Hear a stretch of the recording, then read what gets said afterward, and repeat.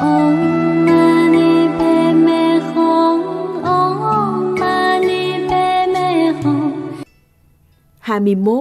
La Hầu La Là con của Đức Phật. Khi La Hầu La chào đời, thì xảy ra việc thị phi phiền não rất nghiêm trọng. Đức Phật đã xuất gia 6 năm, mà Gia Du Đà La, vợ của Ngài, mới sinh ra một đứa con. Cho nên, quyến thuộc của Đức Phật giận dữ vô cùng, cho rằng công chúa không giữ đạo làm vợ. Do đó có người muốn trừng phạt công chúa, nhục mạ công chúa. Tiếng xấu đồn lan tràn khắp nơi. Đức Phật đã xuất gia 6 năm mà vợ của Phật mới mang bầu. Tuy nhiên, người trong cung nói với phụ dương của Đức Phật là bảo đảm công chúa chẳng làm chuyện đó.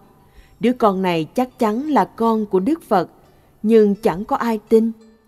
Thực tế thì La Hậu La ở trong thai mẹ 6 năm, nhưng duyên bên ngoài bức bách quá. Do đó Ngài Gia Du Đà La mới phát nguyện rằng Nếu tôi không giữ đạo làm vợ thì nhảy vào hầm lửa, lửa sẽ thiêu chết mẹ con tôi. Nếu tôi trong sạch thì thiên thần hãy bảo hộ tôi, khiến cho mẹ con tôi không bị lửa thiêu chết. Mới làm một hầm lửa, công chúa Gia Du Đà La bồng ngài La Hầu La nhảy vào hầm lửa.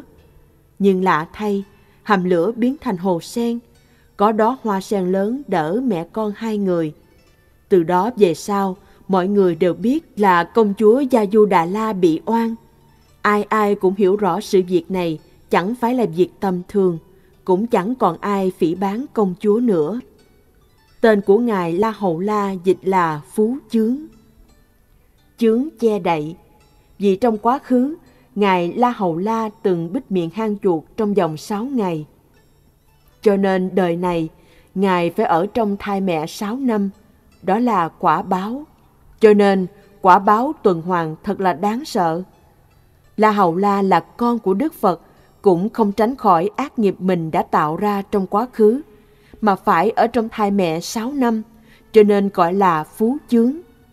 Vì mang thai La Hầu La mà sinh rất nhiều phiền não chướng ngại.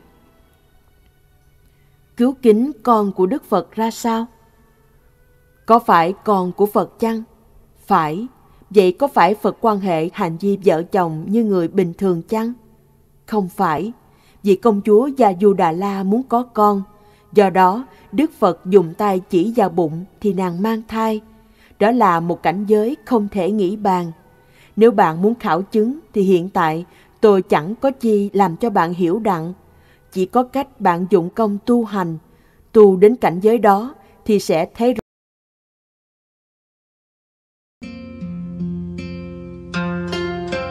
嗡哈哈哈，嗡三摩地梭诃。